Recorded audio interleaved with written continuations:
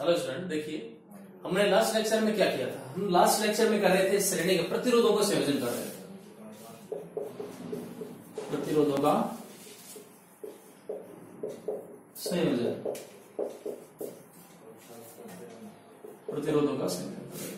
वहाँ पर हमने देखे थे कि दो केस होते हैं। एक होता है सीरीज़ और दूसरा होता है पैरेलल समांतर और श्रेणी क्रम पढ़ रहे थे। हमने वहाँ पर श्रेणी क्रम की डेफिनेशन देख ली थी। आज हम दूसरा पार्ट करते हैं और दूसरा पार्ट हमारे पास क्या है? समांतर। क्रम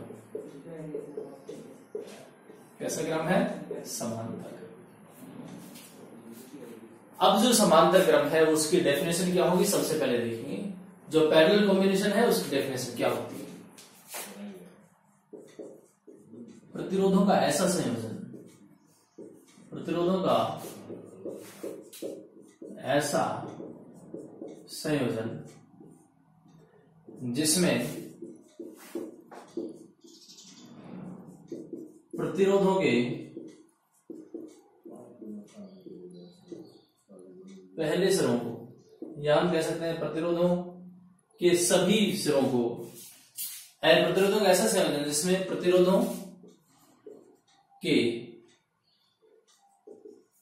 एक सिरे को एक सिरे को जिसमें सभी प्रतिरोधों के ऊपर लिखे हैं ना, सभी प्रतिरोधों के एक सिरे को एक जगह जबकि दूसरे सिरों को, दूसरे सिरों को अन्य, यानी दूसरी जगह दूसरी जगह एक साथ संयोजित किया जाता है। एक साथ संयोजित किया जाता है।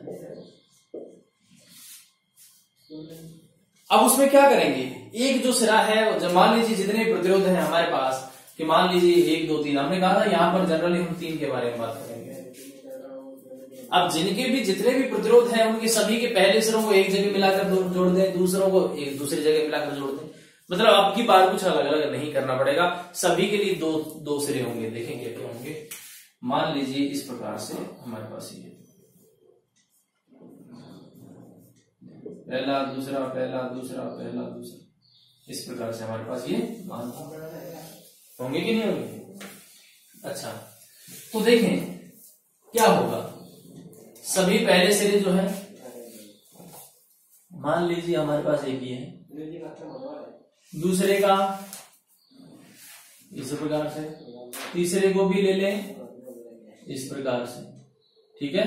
ये इस प्रकार से जोड़ दिए सभी सिरों को, ये हम मान लेते हैं आर वन है, ये आर टू है और ये आर थ्री इस प्रकार से जोड़ देंगे तो ये हमारे पास कैसा कॉम्बिनेशन हो गया? यानी सभी को ऐसा किया जाए ऊपर नीचे रख दिया जाए। जैसे एक ये है, एक इसके ऊपर है, इसके भी दो सिरे होंगे इधर इधर। इसके भी दो सिरे होंगे, एक इधर होगा, एक इधर होगा। सभी को सिरों को एक साथ कर लिया है। मान लीजिए एक के ऊपर एक तीन आदमी खड़े कर दिए जाए, सभी किस प्रकार हाथ फैला दिए जाए। तो ऊपर वालों के हाथ नीचे की तरफ़ झुकाए, बीच वाले के बीच में है, नीचे वाले का भी उधर दिया जाए। सारों को सभी को, जो पहले सिरे हैं, उनको एक जगह फिक्स कर दें। दूसरे वाले सभी सिरों को एक जगह फिक्स कर दें। तो ऐसा जो क्रम होता है, वो क्या कहलाता है? समांतर क्रम, संयोजन। कैसा क्रम कहलाएगा? समांतर क्रम, संयोजन। कि सभी सिरों को एक जगह और दूसरे सिरों को दूसरे जगह पर संयोजित कर दिया जाता है तो इस प्रकार का कॉम्बिनेशन क्या कहलाता है? पैरेलल कॉम्बिनेशन कहलाता है। तो ये हमारे पास डेफिनेशन होगी इसकी। आगे देखें कि इनके डायग्राम कैसे होते हैं। इसका डायग्राम भी देख लेते हैं, हालाँकि मैं ऊपर बना चुका हूँ, फिर भी आप देख लें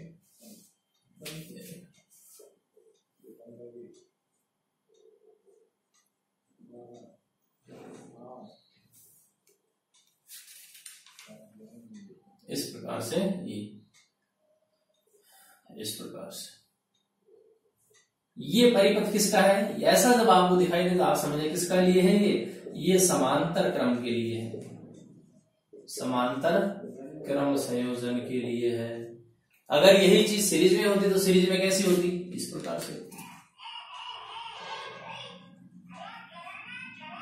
इस प्रकार से।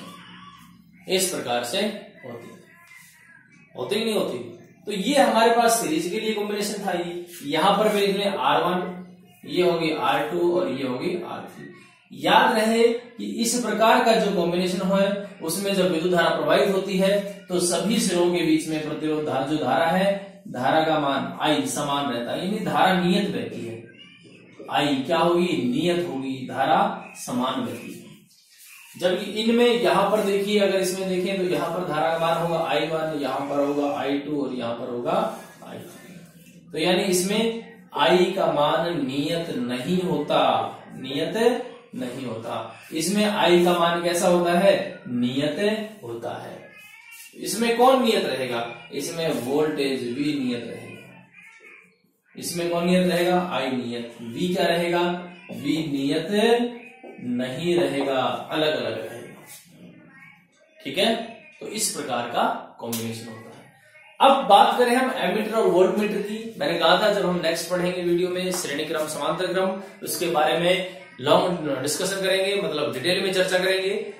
आज हमारे पास समांतर क्रम भी कंप्लीट हो गया और श्रेणी क्रम भी कंप्लीट ठीक है? और डिटेल बाद में पढ़ेंगे। अब एमीटर और वोल्ट मीटर के बारे में बात कर लेते हैं कि एमीटर और वोल्ट मीटर कहाँ कहाँ जोड़े जाएँगे।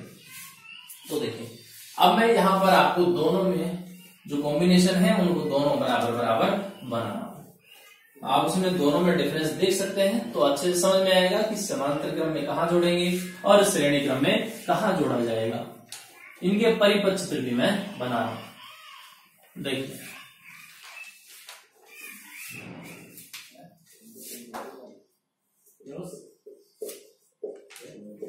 श्रेणी क्रम संयोजन इधर मैं बना रहा हूँ समांतर क्रम संयोजन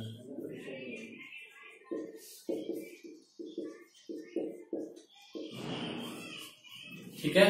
इस प्रकार से।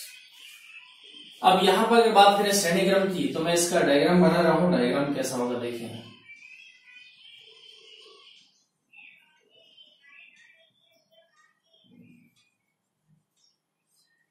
इस प्रकार से ये हमारे पास हो गया आर वन ये हो गया आर टू और ये हो गया आर थ्री यहाँ से हमारे पास क्या आ रही है इसमें? आई आ रही है।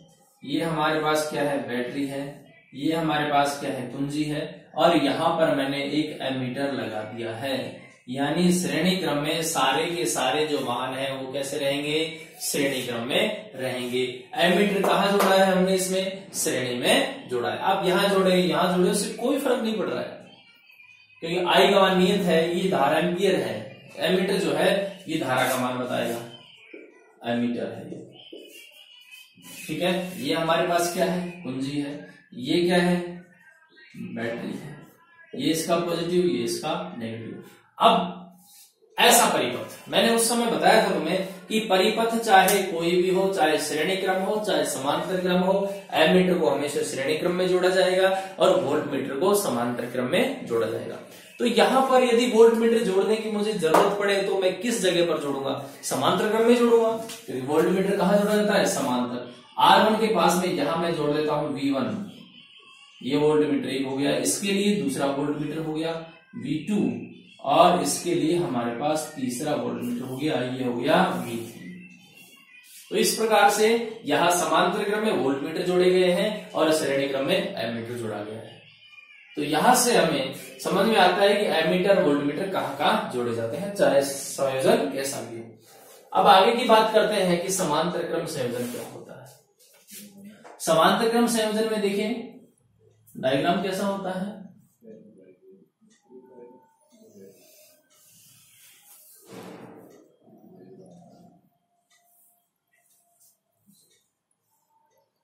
ठीक है?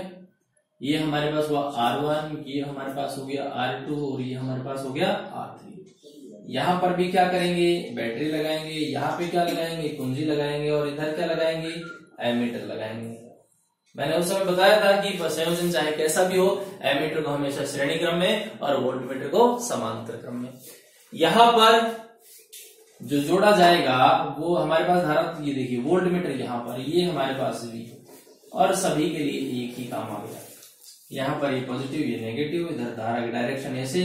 यहाँ पर धारा हमारे पास बहेगी आई वन ये रहेगी आई टू और ये रहेगी आई थ्री यानी तीनों प्रतिरोधों में धारा का मान अलग अलग होगा। जबकि यहाँ पर तीनों प्रतिरोधों में धारा का मान समान था। वोल्ट मीटर जो है, वोल्टेज का मान अलग अलग होता था। ठीक है? यहाँ पर विभवांतर अलग अलग होता था। यहाँ पर विभवांतर दोनों में एक ही रहेगा। तो ये हमारे पास डायग्राम हो गए एमीटर और वोल्टमीटर सहित कंप्लीट परिपथ हो गए श्रेणी क्रम और समांतर क्रम संयोजन के। इस प्रकार से हम इनको ड्रॉ कर सकते हैं। अब आगे की अगर बात करें कि श्रेणी क्रम संयोजन में तो इस प्रकार से जोड़ा जाएगा, जबकि समांतर में उस तरह से जोड़ा जाता है। तो यहाँ पर इसमें और लिख लेते हैं, यहाँ पर आई का मान नियत। कहाँ पर? सभी प्रतिरोधों के लिए। सभी प्रतिरोधों के। यहाँ पर तीन है। अगर बाइक में चार भी होते तो भी चलते। वी का मान अलग अलग किसके लिए? आर के लिए। सभी आर के लिए वी का मान क्या होगा? अलग अलग होगा। अगर मैं इसकी बात करूँ तो यहाँ पर आई का मान अलग अलग सभी प्रतिरोधों के लिए। किसके लिए? सभी प्रतिरोधों के लिए। और वी का मान क्या होगा? समान होगा। किसके लिए? सभी आर के लिए। ठीक है? यहाँ पर हम ऐसा देख सकते हैं। आई का मान अलग अलग और वी का मान समान। इसमें आई का मान नियत मतलब समान है, और वी का मान अलग अलग है। तो ये हमारे पास हो गया एमीटर और वोल्ट मीटर संबंधित। चर्चा में आया कि आई का मान इतना होता है और वी का मान ऐसे भी होता है। वहाँ से आई का मान ऐसा होता है और वी का मान ऐसा होता है। अगर इसके फॉर्मूले की बात करें फॉर्मूले की उत्पत्ति बाद में करेंगे। पहले मैं तुम्हें सिंपल सिर्फ़ फॉर्मूला बता रहा हूँ। यहाँ पर लिखेंगे आर एस बराबर होगा R one plus R two plus R three. और मैंने कहा था कि हमारे सिलेबस में तीन ही प्रतिरोध है, लेकिन मैं तुम्हें बताऊँगा कि यदि तीन से ज़्यादा हुए तो क्या होगा? कुछ नहीं होगा। आप प्लस करके जोड़ते जाइए। Dot dot dot, plus R N. Number of resistance. R N का मतलब क्या है? Number of resistance. जितने भी प्रतिरोध है संख्या में, सभी को आप इस प्रकार से जोड़ दें। अब जब आप अपनी किताब देख रहे होंगे तो हाँ वहाँ पर आपको इस प्रकार से मिलेगा। आर बराबर R one plus R two plus R three. ऐसा क्यों मिलेगा? क्योंकि सिलेबस के अकॉर्डिंग हमारे पास तीन ही प्रतिरोध है और तीनों का फॉर्मूला इस प्रकार से व्यवस्थित किया जाता है। व्युत्पत्ति बाद में करेंगे। आगे देखें, इसके लिए क्या होगा? इसके लिए हमारे पास फॉर्मूला होगा कि वन अपॉन आर पी बराबर one upon R one plus one upon R two plus one upon R three plus dot dot dot करके plus one upon R N इस प्रकार का फॉर्मूला तीन से ज़्यादा के लिए काम में आएगा। लेकिन हमारे पास वन अपॉन आर पी बराबर one upon R one plus one upon R two plus one upon three इस प्रकार का फॉर्मूला हमारे सिलेबस में है, जो कि तीन प्रतिरोधों के लिए होता है। तो हमारे पास यहाँ से ये फॉर्मूले आए मतलब सूत्र भी आ गए। ठीक है? श्रेणी क्रम और समांतर क्रम के सूत्र आ गए। बाकी डिस्कशन हम नेक्स्ट वीडियो में करेंगे। तब तक के लिए गुड बाय